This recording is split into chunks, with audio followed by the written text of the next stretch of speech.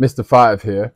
Even though I spent over a decade of my life exposing the conditions of this horrible jail, Rikers Island, in the beginning, there was actually just a few of us doing the work. But so many now are blowing the whistles about these conditions of Rikers Island. Let's travel back a couple of centuries or so, so I can tell you how the history is actually wrapped up in slavery. From COVID 19 to the filthy facilities to a record amount of deaths, in order to understand New York City's horror show, which is called Rikers Island Correctional Facility, we have to go back to the 1800s, to this jail's unsurprising roots in slavery. Magistrate Richard Riker owned the island after his Dutch relative, Abraham Riker, bought it a couple of centuries back before that.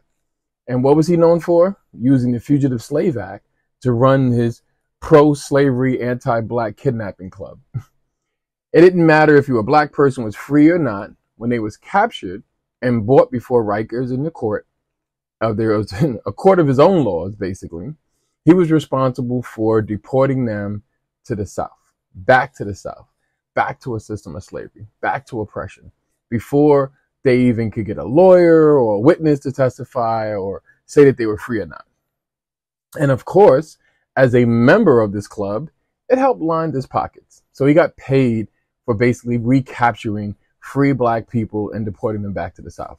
Today, with eerie similarity, black people are captured and is the, and are the main demographics of Rikers Island. Over 85% of those detained are simply waiting for trial, often because they just can't afford bail.